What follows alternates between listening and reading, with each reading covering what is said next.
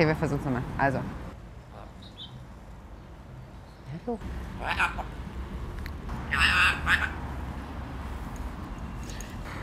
Ich glaube, Kathi, das war der komplizierteste Sendungsanfang, den ich hier hatte. Echt? Ja, ja weil du kannst halt einfach die Kinder auf Kommando. Ja, und nur nicht, dass es hier Irritationen gibt. Mein Gast ist nicht die China, dieser Papagei, sondern die liebe Kati.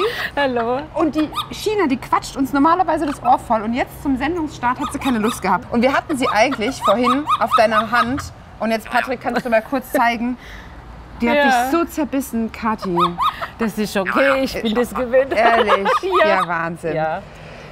Diese zwei Papageien sind die ersten Menschen, auf die man trifft, wenn man bei dir in deine tolle Kneipe kommt. Ja. Ähm, du hast diese Kultkneipe und man sagt zu dir auch Kult-Kati aus Winnenden. Warum hast du die Kneipe aufgemacht? Äh, eigentlich war mein Bestreben äh, darauf, äh, Kneipe gibt es für Männer. Ja. Und ich wollte eine Kneipe ausschließlich für Frauen, wo Frauen allein rein können, wo sie sich wohlfühlen. Deswegen ist es auch so eingerichtet, das ist mein Geschmack, nicht den Geschmack von meinem Mann, sondern meiner. Und ähm, äh, ja, und weil es ist halt so, dass die Männer halt alle Kneipen der Welt haben. Da können die überall alle, alleine rein, aber als Frau. Und so ist es entstanden, weil ich gesagt habe, naja gut, wenn sich Frau wohlfühlt, kommen ja die Männer automatisch. Also die brauchst du nicht ex extra. Und das ist immer mehr geworden. Und Schön. die haben auch immer die Anerkennung von den Gästen, okay, du machst das richtig. Und Ja, man fühlt sich auch wohl. Also wir gehen natürlich auch gleich rein und zeigen Ihnen, wie toll es da drin ist. Es ist einfach so heimlich und man wird gleich so von Heimlich, dir ja. quasi bildlich umarmt und denkt sich so, ach, hier könnte ich mal ein paar Ja. Stündchen verbringen, gell? ja. Kathi, und du bist heute bei mir in der Sendung, weil du hast nicht nur diese unglaubliche Kneipe und bist die Kult-Kati, für mich bist du auch die Kultur-Kati und bist deswegen in meiner meine Sendung, weil ganz viele tolle Menschen, auch bekannte Menschen, treten bei dir auf. Da quatschen wir natürlich gleich auch drüber, lernen so ein bisschen kennen, wie das bei dir auf der Terrasse und drin aussieht. okay. Und vorher schalten wir ganz kurz in eine tolle neue Attraktion, die jetzt äh, in Stuttgart endlich ihre Türen geöffnet hat. Diese kleine Schere hat heute große Bedeutung für das Stadtpalais. Denn in wenigen Sekunden wird das Stadtpalais, das Museum für Stuttgart, eröffnet mit einem Scherenschnitt. Leider darf ich nicht, das übernehmen andere Menschen, aber wir sind natürlich dabei.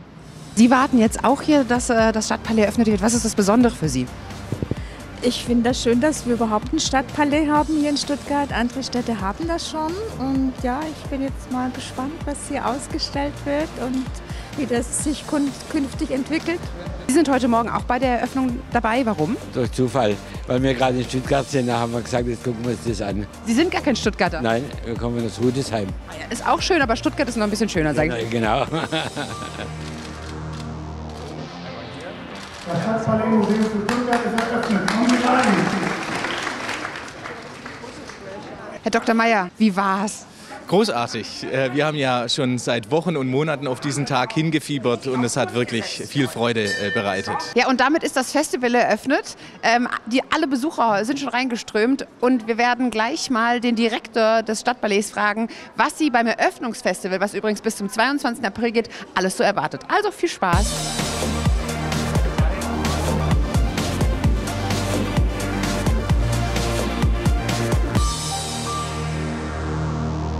Ja, heute am Mittwochabend, da äh, machen wir einen Abend zu Stuttgart und seinen VfB, zusammen mit Andreas Beck, zusammen mit Timo Hildebrand, mit Lennart Brinkhoff.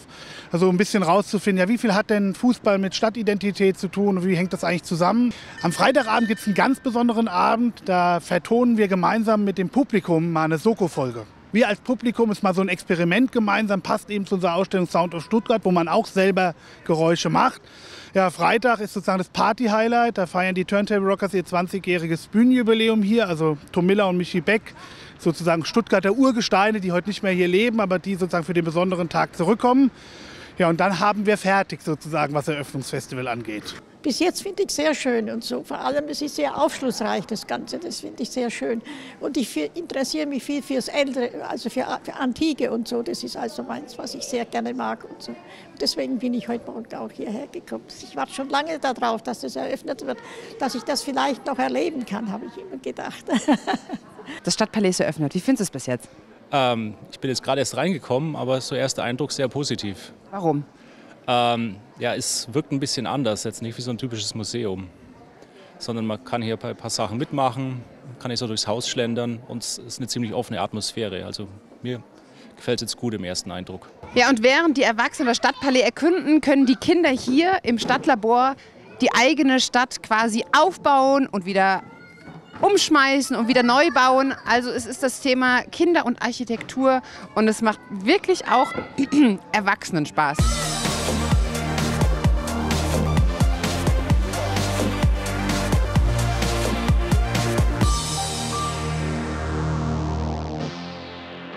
Ähm, jetzt haben wir ja gerade das Stadtpalais gesehen, das äh, neue Museum für Stuttgart. Kommst du überhaupt raus aus deiner Kneipe und kannst dir sowas angucken? Ähm, nee, eigentlich ganz ehrlich, nee. Ganz, ganz selten. Dein richtiger Name lautet ja Katalin. Das Mhm. ist kein deutscher Name. Nee, der, der stammt aus dem Russischen anscheinend. Ich bin aber gebürtig in Ungarn. Ja. Ja, und ähm, ich war vier und meine Schwester war drei, wo unsere Eltern dann halt äh, flüchten Geflohen mussten. sind, Ja, mhm. Geflohen sind aus Ungarn über, über Mazedonien, also ganz, ganz weit. Ja, und bin also so auch ein Flüchtlingskind. Und deswegen ist das für mich so herzzerreißend, was hier so, wie, wie sich die, die so spalten. So die, Da kannst du gut mitfühlen. ja, und die halten mich da auch total. Also ich, hier, ich möchte hier neutrale Boden. Hier. Hier wird keine Politik gemacht bei dir in der Kneipe. Nicht, nicht, ich, äh, äh, nicht extrem. Nee, man kann ja mal drüber reden, man kann sich ja austauschen, das ist alles schön und gut. Aber Fanatismus hat in meiner Kneipe nichts zu suchen. Was hat denn in deiner Kneipe was zu suchen? Alles, was sich wohlfühlt, Ruhe, äh, äh, äh, Freude, äh, ähm, ähm, einfach hier äh, soll man ankommen, hier soll man sich wohlfühlen und das ist eigentlich mein Bestreben. Und du bietest nicht nur deinen Gästen ein Zuhause, sondern auch den Stars und Ja. Sternchen. Da hast du eine kleine Bühne aufgebaut und vor Ja. allen Dingen ein tolles Event, was ansteht. Darüber quatschen wir gleich. Äh, Wir schalten ganz kurz weg und sind gleich wieder da und freuen uns natürlich, wenn Sie dann auch wieder mit dabei sind. Ja, und was Sie jetzt gerade nicht gesehen haben, wir sind ja schon am Quatschen und Quatschen und Quatschen. Die Kamera war noch gar nicht an.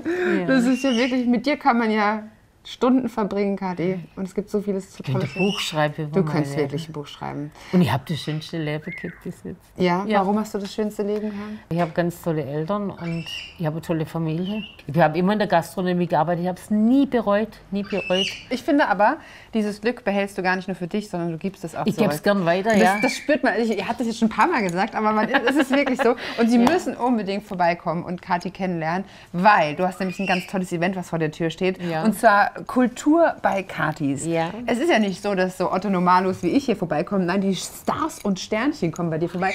Patrick, wenn du mal hier auf die Wand, ähm, die du mit deiner Tochter gebastelt hast. Jetzt haben wir hier zum Beispiel, guck mal, hier Die Lo- unten. Die Lords. The Lords, die kennt man natürlich. Dann haben wir, Andreas Kümmert. genau, Andreas Kümmert haben wir hier. David Blair ist da in der Mitte. Ist auch ein Bekannter aus Vancouver. Und das sind ganz junge Künstler hier. Das sind Cliff die House. Cliff House. Die sind am, am Samstag auch dabei. Das sind ganz, ganz tolle Talente.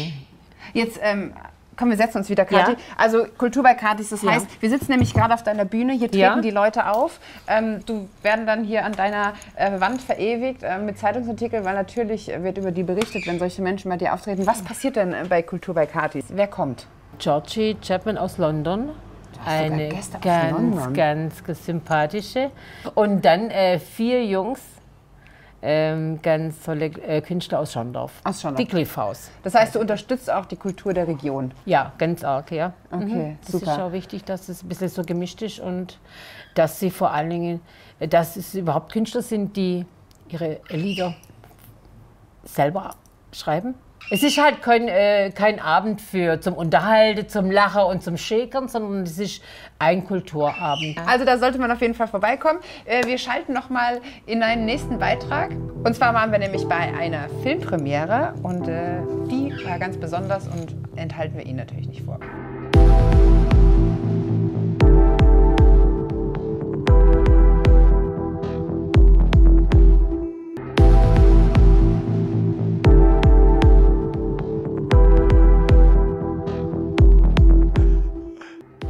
Hallo, mein Name ist Nico Hüls, aka Nico Backspin und ich bin Head of Backspin, dem ältesten Hip-Hop-Magazin aus Deutschland, und habe mich in einem Porsche Panamera in fünf Tagen in sechs Städte begeben und habe dabei zehn wunderbare Menschen der Hip-Hop-Kultur getroffen und habe mich mit ihnen über die Essenz von Hip-Hop unterhalten.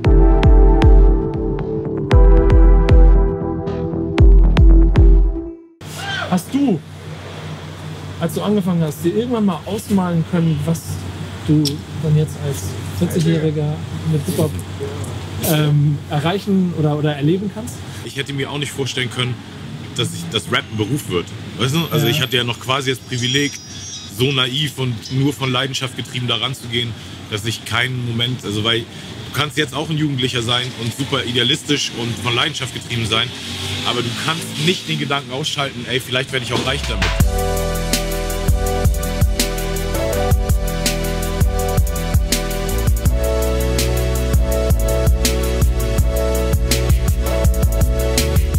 Dieser Film ist eigentlich für jeden, der irgendwo den Begriff Hip-Hop für sich ähm, schon mal benutzt hat. Oder der ihn vielleicht auch nicht ganz genau definieren kann. Weil es in diesem Film auch nicht um Promo geht, es geht nicht um Musik und meinem Album, das gerade ähm, beworben werden muss, sondern es geht um die Persönlichkeiten, die mit dieser Kultur in Verbindung stehen. Und damit vielleicht auch sowohl für Eltern als Möglichkeit, um zu verstehen, was die Kids da mit dem Hip-Hop machen und meinen und genauso für die Kids aus der heutigen Generation, um zu verstehen, was dieser Hip-Hop-Begriff eigentlich bedeutet, aus dem sie ähm, ihre Musik ziehen, wo ihre Künstler heute alle herkommen. Und insofern ist dieser Film eigentlich für alle Generationen.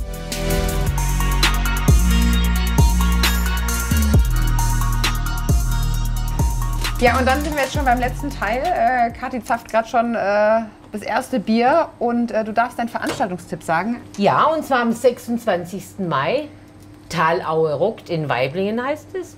Und da tritt David Hanselmann auf. Ganz super. Sollte man abrocken. Ja, Künstler.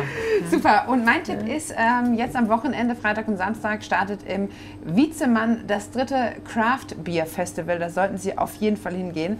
Ähm, wird bestimmt auch eine coole Sache. Kathi, ich sage vielen lieben Dank, dass wir bei dir sein durften. Es hat irre Gerne. viel Spaß gemacht. Hat Freude gemacht. Und ich hoffe, wir sehen uns nächste Woche auch wieder. Bis dahin, machen Sie es gut. Und tschüss. Tschüss.